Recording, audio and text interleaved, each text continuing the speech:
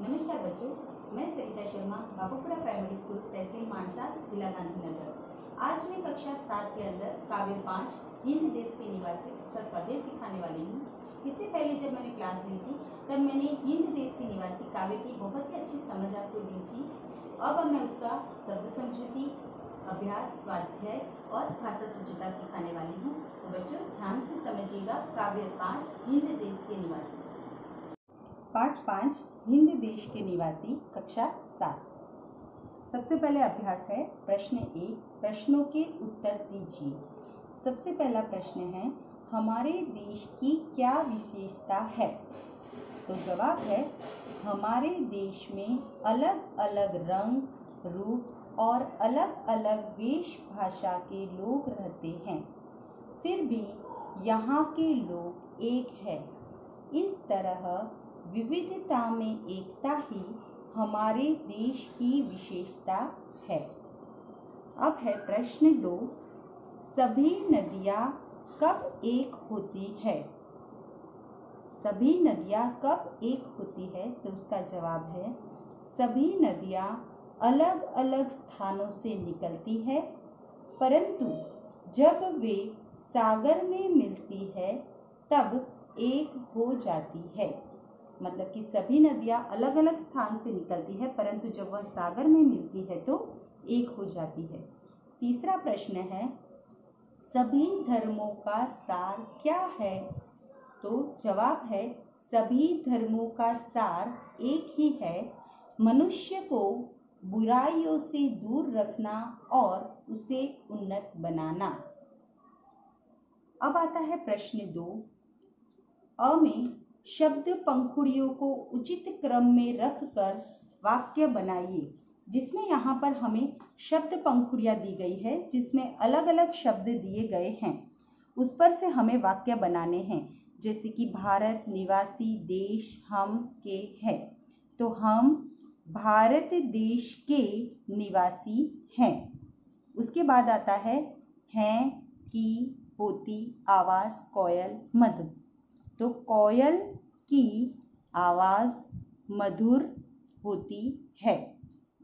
आखिरी है, फूलों हँसते की चाहिए तरह रहना।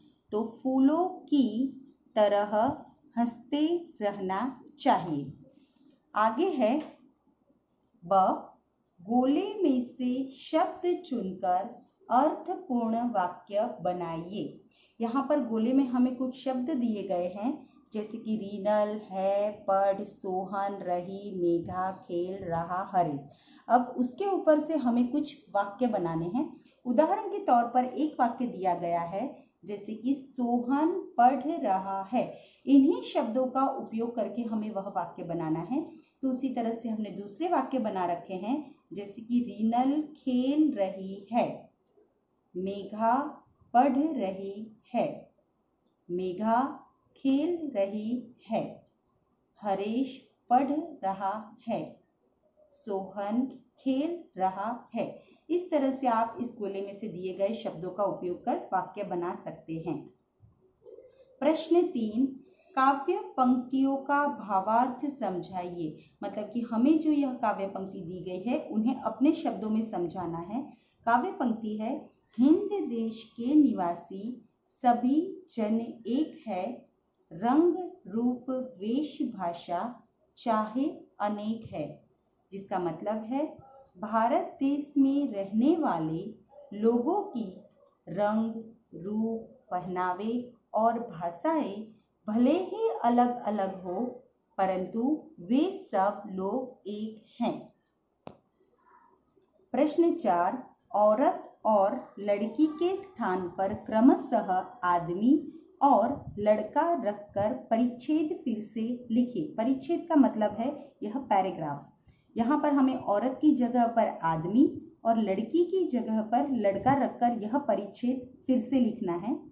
तो मैं बोल रही हूँ उस तरह से आपको भी लिखना है, एक मोटी औरत जा रही थी तो औरत के स्थान पर आदमी। एक मोटा आदमी जा रहा था। औरत के स्थान पर जब हम आदमी करते हैं तो पीछे के सभी शब्द बदल जाते हैं। दूसरा है पीछे पीछे एक लड़की चल रही थी। तो लड़की के स्थान पर हमें लड़का रखना है। पीछे पीछे एक लड़का चल रहा था। लड़की छोटी और पतली थी। तो लड़का छोटा और पतला था। औरत को पता चला तो घूर कर बोली। आदमी को पता चला तो घूर कर बोला, ए लड़की, मेरे पीछे पीछे क्यों चल रही है? ए लड़के, मेरे पीछे पीछे क्यों चल रहा है? लड़की भोलेपन से बोली। लड़का भोलेपन से बोला, मैं तो केवल छांव के नीचे चल रही थी। मैं तो केवल छांव के नीचे चल रहा था। मतलब स्त्रीलिंग का जब हम पुल्लिंग करते हैं तो पूरी वाक्य रचना बदल जाती है। स्वाध्याय लेखन, प्रश्न एक, प्रश्नों के उत्तर लिखिए। पहला प्रश्न है हिंद वासियों में कैसी विविधताएँ हैं? तो उसका जवाब आता है हिंद वासी अलग अलग रंग और रूप के हैं। उनके पहनावे अलग अलग हैं। वे अलग अलग भाषा बोलते हैं। वे अलग अलग धर्मों में मानते हैं। इस प्रकार हिंद वासियों में विविधताएँ हैं। इस प्रश्न के जवाब के स्थान पर हम अपने तरह से और शब्द भी लिख सकते हैं। दूसरा प्रश्न है, माला में कौन कौन से फूल एक रूप हुए हैं? तो कविता का जो वाक्य है, बेला गुलाब जूही चंपा चमेली प्यारे प्यारे फूल गूंथे माला में एक है तो वही जवाब आएगा कि माला में बेला, गुलाब जूही चंपा, चमेली आदि तरह तरह के फूल एक रूप हुए हैं। प्रश्न तीन, इस कविता में किन नदियों का उल्लेख है? तो इस कविता में गंगा, यमुना, ब्रह्मपुत्र, कृष्णा और कावेरी जैसी नदियों का उल्लेख है। काव्य में आता है, गंगा, यमुना, ब्रह्मपुत्र, कृष्ण, कावेरी, जाके मिल गई सागर में, हुई सब एक है। चौथा है, नदियों से हमें क्या संदेश मिलता है? तो नदियाँ हमें क्या सिखाती है? तो हमारे देश में अनेक नदियाँ हैं, जो अलग अलग स्थान से निकलती है, परंतु अंत में वे सागर से मिलकर एक हो जाती है। यह नदियों से हमें संदेश मिलता है कि जैसे नदियाँ अलग अलग होकर भी एक हो जाती है, उसी तरह हम भारतवासी अलग अलग होने पर भी एक होकर रहें। अब आता है प्रश्न दो। कोष्टक में जो शब्द समानार्थी नहीं है, उन पर घेरा कीजिए और समानार्थी शब्दों का वाक्य प्रयोग कीजिए। ध्यान रखिए, यहाँ पर लिखा है, समानार्थी नहीं है। तो पहला जो वाक्य है, पंथ, राह, रास्ता और पैर, जिसमें पैर अलग शब्द है, पंथ, राह और रास्ता तीनों का अर्थ एक ही है, तीनों एक दूसरे के समानार्थी है। अब पंथ, राह और रास्ता, इन पर से हमें वाक्य प्रयोग करने हैं, जो बच्चों को खुद ही वाक्य बनाने हैं। अब है दूसरा, कुसुम, पुष्प फूल और कांटा। तो कांटा अलग शब्द है, कुसुम, पुष्प और फूल तीनों एक दूसरे के समानार्थी शब्द है। अब आगे है आम, अनूठा, निराला और अनोखा। इसमें आम वह एक फल का नाम है जो अलग है। अनूठा, निराला, अनोखा यह तीनों एक दूसरे के समानार्थी शब्द है। जन, मनुष्य, मानव और स्त्री। तो स्त्री अलग शब्द है तो उसके ऊपर हम घेरा बनाएँगे। अब तीनों शब्दों को लेकर जो वाक्य प्रयोग करना है, वह बच्चों को खुद ही करना होगा। भाषा सज्जता। प्रियंका कहती है, मीना, आज तू चुपचाप क्यों बैठी है? मंदिर नहीं आना। यानी मीना के लिए तू सर्वनाम का उपयोग किया गया है। मीना कहती है, नहीं मेरा मन नहीं लगता, यानी मीना के स्थान पर मेरा शब्द का उपयोग किया गया है। प्रियंका कहती है, अरे हाँ आजकल तुम बहुत खेल रही हो ना? मीना कहती है, मैं क्रिकेटर बनना चाहती हूँ, पर मुझे खेलना रास नहीं आया। यानी मीना ने अपने लिए मैं और मुझे शब्द का उपयोग किया है। प्रियंका पूछती है, क्यों? मीना ने कहा कल मैं मोहल्ले में खेल रही थी, तब गेंद ने सीमा मौसी के घर की खिड़की का कांच तोड़ दिया। उन्होंने माँ से शिकायत कर दी। मीना ने अपने लिए मैं का उपयोग किया है और उन्होंने उन्होंने सीमा मौसी के लिए उपयोग किया गया है। अब प्रियंका कहती है, ओह, अब समझी तेरी उदासी का राज। खेलते समय दूसरों का भी ख्याल रखना चाहिए। मीना कहती है, आपकी बात बिल्कुल सच्ची है। अब मैं ध्यान रखूँगी। आप उसने प्रियंका के लिए यूज़ उपयोग किया है और मैं यानी मीना। उपयुक्त संवाद में से व्यक्तिवाचक संज्ञाएँ छांट कर लिखे। संज्ञा यानी नाम। तो नाम में है प्रियंका। दूसरी संज्ञा है मीना। और आती है सीमा। आगे है, इन व्यक्तिवाचक संज्ञा शब्दों के लिए जिन शब्दों का प्रयोग किया है, उनकी सूची बनाई। तो इसके लिए पहले हमें यह पढ़ना होगा, तब हमें पता लगेगा कि कौन सा शब्द प्रियंका, मीना या सीमा मौसी के लिए बताया गया है। तो सबसे पहले है प्रियंका मीना, आज तू चुपचाप क्यों बैठी है? तो तू मीना के लिए उपयोग किया गया है तो यहाँ पर हम लिखेंगे तू। आगे है मीना, नहीं, मेरा मन नहीं लगता। मेरा यानी मीना के लिए उपयोग किया गया है। मेरा। आगे है प्रियंका, अरे हाँ आजकल तुम बहुत खेल रही हो ना? यानी तुम तुम यानी मीना। आगे है।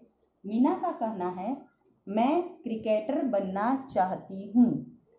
मैं, यानी मीना। आगे है, पर मुझे खेलना रास नहीं आया। मुझे मुझे, यानी मीना। प्रियंका कहती है, क्यों? मीना ने कहा कल मैं मोहल्ले में खेल रही थी, तब गेंद ने सीमा मौसी के घर की खिड़की का कांच तोड़ दिया। उन्होंने माँ से शिकायत कर दी। तो मैं, यानी मीना, जो एक बार लिख चुके हैं और बाद में आता है, उन्होंने उन्होंने, यानी सीमा मौसी, उन्होंने। बाद में है, प्रियंका कहती है, ओह, अब समझी तेरी उदासी का राज। खेलते समय दूसरों का भी ख्याल रखना चाहिए। तेरी तेरी यानी मीना। अब मीना कहती है, आपकी बात बिल्कुल सच्ची है, अब मैं ध्यान रखूँगी। आप आप यानी प्रियंका। और है, मैं जो आगे आ चुका है। तीसरा प्रश्न है, परिभाषा पूर्ण कीजिए। जो शब्द खाली जगह के स्थान पर प्रयुक्त होते हैं, उन्हें सर्वनाम कहते हैं। यानी जो नाम है, प्रियंका, मीना और सीमा जिन्हें संज्ञा कहते हैं तो जो शब्द संज्ञा के स्थान पर रखा जाता है, उन्हें सर्वनाम कहते हैं। अब हम प्रश्न चार देखेंगे। वाक्यों को पढ़िए और बोलने वाले, सुनने वाले और अन्य व्यक्ति को सूचित करने वाले जिन सर्वनाम शब्दों का प्रयोग किया है, उन्हें खाली जगह में लिखिए। तो पहला है, मुझे बल्लेबाजी में मज़ा आता है। मतलब बोलने वाला व्यक्ति है मुझे। दूसरा है हम मैच जीत गए। हम, यानी बोलने वाला व्यक्ति है हम। तीसरा है, तुम अच्छे क्षेत्र रक्षक हो, यानी तुम। तुम्हारी गेंदबाजी का जवाब नहीं, तुम्हारी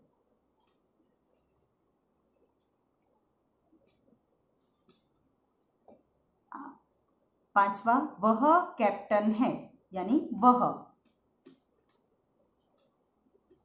उसने एक लंबा छक्का लगाया तो उसने।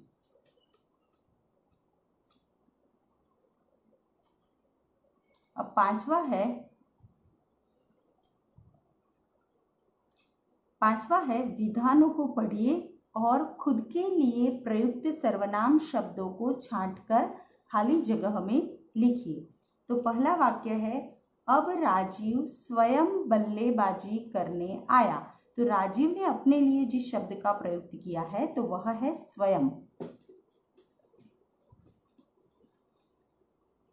दूसरा है, मैं अपने आप चला जाऊँगा। अपने आप